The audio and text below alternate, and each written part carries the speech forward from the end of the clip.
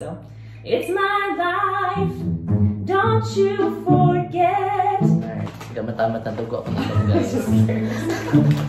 oh, if That's really amazing. I'm really excited. And This is Romio and welcome to my vlog.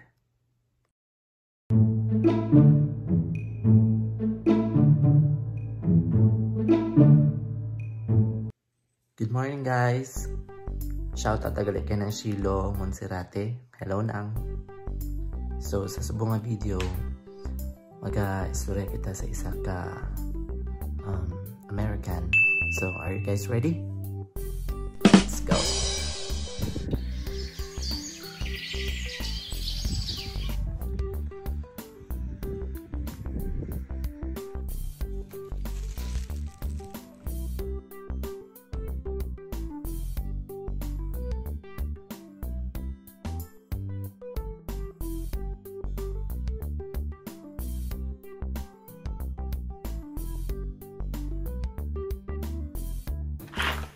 Hi!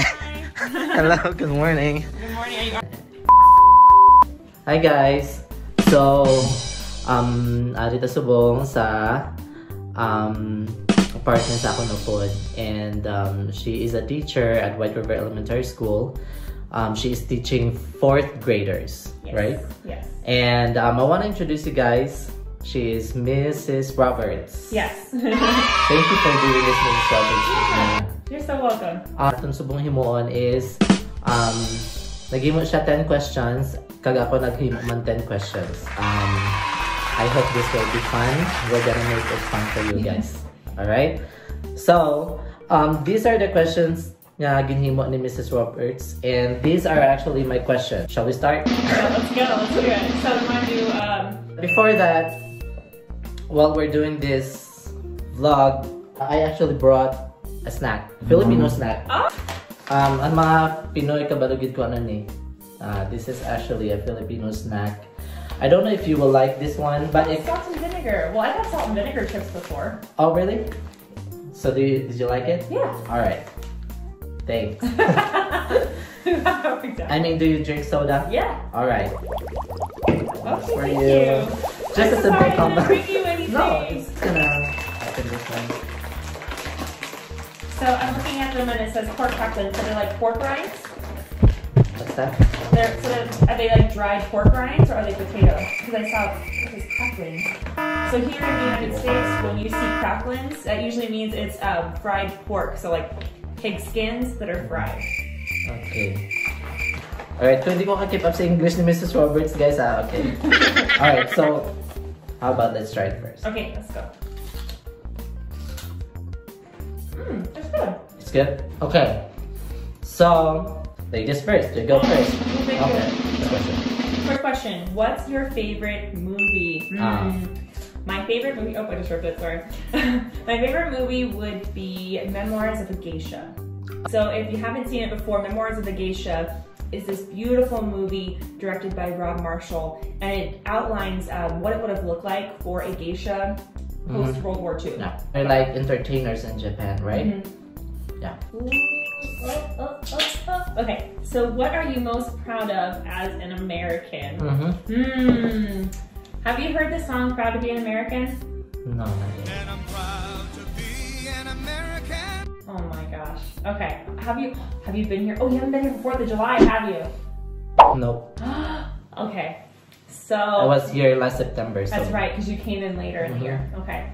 So I would say probably the thing I'm most proud of as an American is if you look at our like founding documents, um, and, and you know we're not perfect, so we're not always going to live up to those ideals. Mhm. But I think what makes the United States such a unique country is that it was founded on ideas. You know, it's founded on an idea of democracy, of appreciating individuality, um, freedom of faith and expression, and I think those are really beautiful values that you know that I, I hope that we can like maintain. And What have you learned about the Apache culture so far? Alright, so sa wala pang mga, mga nakabalo, nagatudlo ko di sa isa ka reservation. And when we say reservation, um, the community is actually Native Americans.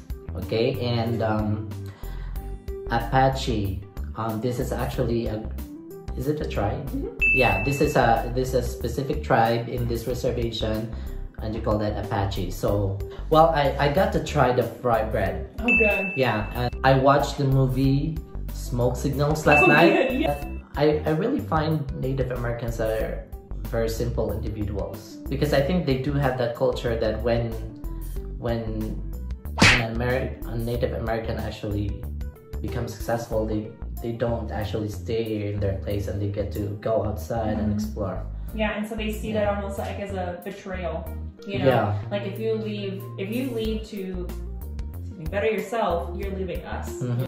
I'm like excited for my fun questions. he keeps getting my serious ones. Yeah. what was your biggest struggle as a teacher? Ooh, that's a good one though. Um, I think I think the hard thing for me is probably what's really hard for every teacher is that you I mean, one, you want to be successful for yourself, right? Like I want to do a good job, Mhm. But I think that there's so much pressure from all sides that sometimes I feel we're actually kind of set up to fail. And I don't think it's any one person's responsibility. Like I, I don't blame a principal or administrator or Mhm. anything. Um, so I think that's just hard is is like trying to meet all the different expectations, Mhm. even if you know that you like it's not realistic and you're, you're evaluated as a teacher is based on that too. Yeah. So So, what has been your favorite food? Oh. I like chicken. Chicken. So anything basta chicken. So fried chicken. If you could describe yourself through a song, what song is it and sing it? Ah! okay, guys, you know what's really fun about this question? You don't know this about me. I'm actually a classically trained singer. So Oh. before I went to school, I actually studied opera. That was like what I wanted to do. I'm, not gonna. I'm not gonna sing opera for you, but here's the chorus though. It's my life, don't you forget. It's my life, it never ends. There you go. So that's the chorus of it. Very good voice. Thank you. So I'm white, obviously, but Mhm. my grandma's the one who raised me. She's actually Shawnee Indian, so she's Native American, Um, and then all my cousins are Filipino. So I have a Really? Yeah. So So, you have a blood of a Filipino? I don't have no not my blood. It's by marriage, Oh, okay. but it's just like Oh. all that family is all, all right. Filipino. Yeah, Right. and then my husband's Got it. Mexican, so you know, we got a big old big mix, global union there. Okay, if you're not a teacher, what career or job do you think you will be? Hmm, good question. I think if I wasn't doing this teaching, I would still be teaching in some other way. So like I, I do blogging and vlogging stuff. Mhm. Um, although it's mostly like tutorials. Mine, mine are probably gonna be way bo- more boring than this because I actually show you how to do stuff on the computer. Probably not as fun. But it's But- very informative though. Yeah, than it's this. helpful. it's helpful. um, so like, yeah, I would probably do that. Another thing I do is I lead teachers on trips. So like, I just Oh. yeah. So I just posted this thing today. I'm actually going to be taking teachers to Finland in November. Um, Oh yeah, you told me about that. yeah. So because we, are supposed to go this really amazing. I'm really excited, and it's it's it's great because it's something I like doing. I love traveling and Mhm. seeing, experiencing new cultures. I get a very lame answers though. No, no, no. I mean, a place in the world you want to visit. yeah. Okay, so I accidentally opened. I didn't know it was gonna be a question.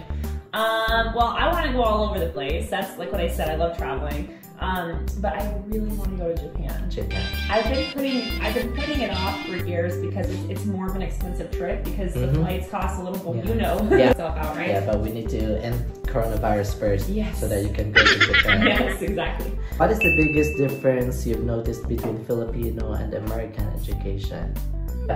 Based on the number of subjects that we're teaching, it's uh, really a lot. Well, back in the Philippines, in a classroom setting, you get to have like more or less 40 students Oh wow, that's a lot. in a classroom, but here, like right now, I only got 17 students, and I think the average here is like 25. Well, and I think that the average here on the reservation is lower too because Yeah. I, I have. And I think that's practical. What else do you do you expect from I don't know because I've never been to the Philippines, so you know it's like I'm just curious of what what it's like for you guys there. as teachers. Do you have like just add on to that? Um, so I know like in the United States, there's a really big difference of like separation of church and state. So like legally, I can't talk about faith or God or Oh. anything like that. When Yeah. I'm teaching, do you guys have that too, or is, or can you talk about? Because I've noticed that like it seems like a very heavily like Catholic Mhm. country, right? Yeah. Do, can you guys talk about that, or is that separate? Well, um, I, way back in my elementary years, I actually experienced like a relig- religion um, class. I don't know if we're still practicing it back in the Philippines. Ako English, bago Mm, describe Filipinos in three words. Yeah. Fun. Okay. So let's see. I'm just really trying to think. Um, it's, it's hard to say all in one word. Like the first thing that comes to mind is like life of the party. To be sorry. So be the life of the party. Because every, I mean, like my Filipino family members and you guys are all like this. Like it's like you can tell when there's something going down because you just hear like hey or whatever you're saying. saying in your language, but you can tell they're super excited to see each other. And you know, and you're like always congregating. There's always like a group. You know, you never see one by yourself really. Yeah. so I would say life of the party. So you're super social Okay, that's and the word. social, and then you're fun, Fun. fun, and um, I want to say I really, I really do want to say like hardworking. Like, like really good work ethic. Next question from me. I got three questions left. Okay. What is your favorite place in the United States so far? So far, the best place for me is in Florida, Orlando, Florida. Oh, you went far. Did you guys drive Yeah. to Florida? Yeah. First, because the climate, the weather, oh, different from the one that we have back in the Philippines. Sure. Of course, ara dira si Tita Vicky nga taga. So, I actually enjoyed my our stay in Florida because of Tita Victoria. Thank you. Okay. What is your biggest achievement as a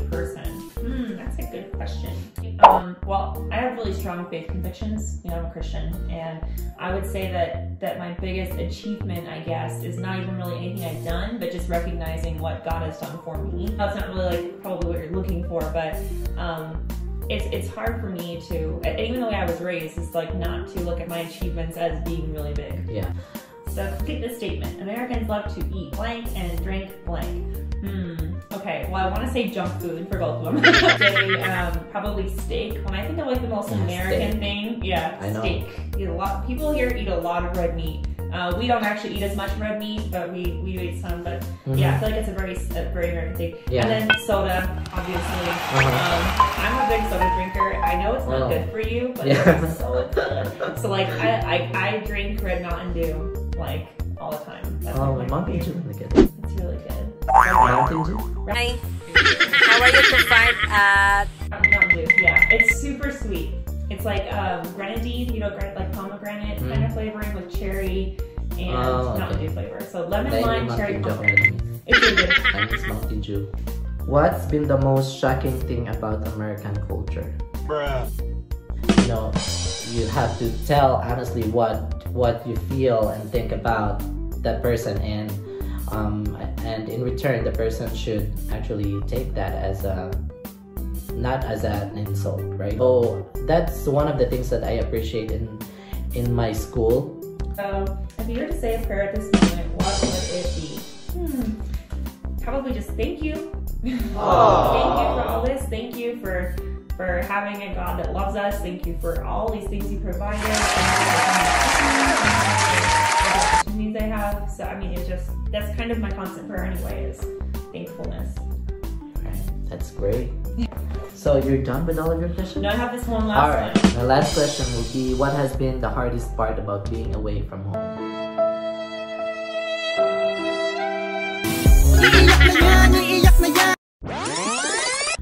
Um, before I actually went here in America, I actually settled my mind, Oh, and I, I actually um, um, set up some expectations of what I'm what I will be dealing with here in America. So I think to deal with homesickness, it's good that we have this technology like the we get to have like video calls, Facebook. So in that way, you can actually ease the homesickness that you are you're trying to experience and Hi everything. I'm just thinking of the of my goal here that this is actually one of my dreams. So I'm very thankful Oh, man, that should have been the ending. That was like a perfect ending. I- I really admire that. I admire like anyone who just like who uproots and goes and tries something new. I think that, that takes a lot of courage. So you should be like really proud, proud of that. Thank you. Wow. America. I've been thinking about this the whole time. it's kind of as a joke, but also kind of serious. Kanye West. You know who Kanye oh, West Oh, is? yeah. Yo, Taylor, I, I'm really happy for you. I'm gonna let you finish. But Beyonce had one of the best videos of all time. One of the best. Okay, so that's funny because I was gonna say Taylor Swift is like the woman of America and Kanye West is kind of like the man, but Okay. but not like it, and the fact that they had conflict, but just like their their personality. Kanye is very individualistic. He's artistic. He's outspoken. He speaks his mind. Um, he, um, I mean, it's, it's been several years now, and Kanye is like a totally different person. Like he's a Christian now. First, kind of do represent Americans. I mean, he's obviously very clever and gifted and smart, but Taylor Swift, I think of her as especially like even with how America's progressed, movement in America have progressed. She started as kind of like a sweetheart, like Mhm. oh so cute, Yeah, oh American girl. 50. 15. Uh, she was so little. And now, um, and now she's like really grown and matured as an artist and as a person. And I think now she's asserting herself more and saying like, no, what I provide is of value. And I think that's also just shown the cultural shift in America. Yeah. You know, women. Um, Have you seen her documentation, The Americana? Americana? Yeah. All right. So, yay, we're done. We're done with uh, with our questions, and um, I want to thank you, Miss Roberts, for doing this with me. And uh, it was really fun. Had fun, and I learned a lot of things from the Americans, from you, and and I hope that you've learned some things about Filipinos as well. All right. I think we should end this video by simply saying our thoughts about about this coronavirus right now that we're what what can you say about this situation that we're right now Um, it's. I think this is one of those things that we're gonna read about when we're older, and like the kids will read about. I think it's gonna go in history books, unprecedented. And I think like I think this is really gonna change the face of education. I think a lot of schools are gonna switch to online learning. I have just my prediction. And um, oh no they will not be needing teachers I anymore I know. I just, I, it's just, it's weird to think about because I mean, you already kind of saw that it was already kind of trickling in. I think a lot of people are going to be like, well, we could just teach online or like, you know, I think you'll see that, and you'll also see a lot more remote work. I think it's actually going to change a lot of things, and I think it's going to make people more careful. They're going to think like, did I wash my hands? Should I touch the doorknob? Like, they're going to be more, yeah about those on the contrary um, i think it has also um, positive effects to some people especially when you're a busy person and your focus is only work Yeah. So when you're now locked down in your houses, you get to mingle and to bond with your family. Yeah. So I think it's the it's the time, it's the it's the specific time for for families to actually know to have that bond again and to actually enjoy each other's company. You notice the difference again between Americans and Filipinos is that I think when Americans deal this problem really seriously, well Filipinos are really silly. you know, they are, especially in Facebook, they're posting a lot of memes, a lot of videos about coronavirus, and just, they just, you know, make fun with it.